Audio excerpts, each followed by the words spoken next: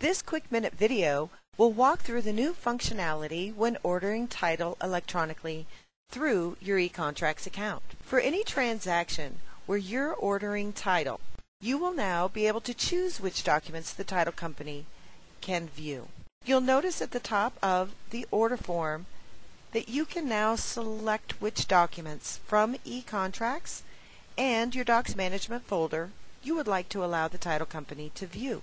You'll just go down the list of available documents and put a check in those boxes that are required to start the title work by the title company. This new functionality will save time between you and your closer in starting the title paperwork.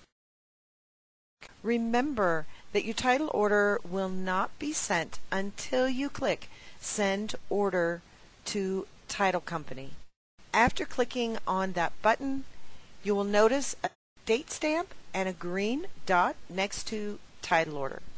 If you update the selection below at any time, even after your order has been sent, just check the box and click the Save button in the title order form, and an indicator will come up that the title company has been notified that an additional document has been added to this transactions order.